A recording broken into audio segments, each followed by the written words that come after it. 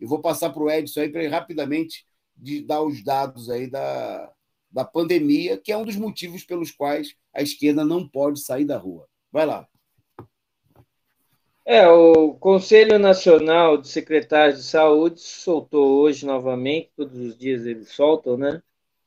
Os números aí do Covid. Ao contrário do que muita gente pensa que o Covid já foi embora, até porque está todo mundo na rua, está tudo liberado, etc. Sumiu os governadores científicos, aqueles que tinham preocupação com a pandemia. Ao contrário disso, os números são alarmantes é, nas últimas 24 horas morreram 894 mil é, pessoas, né?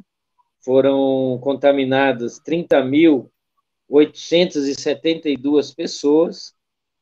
É, é, contabilizando aí, já morreram 575 mil, passamos do 575 mil, 742 pessoas, né?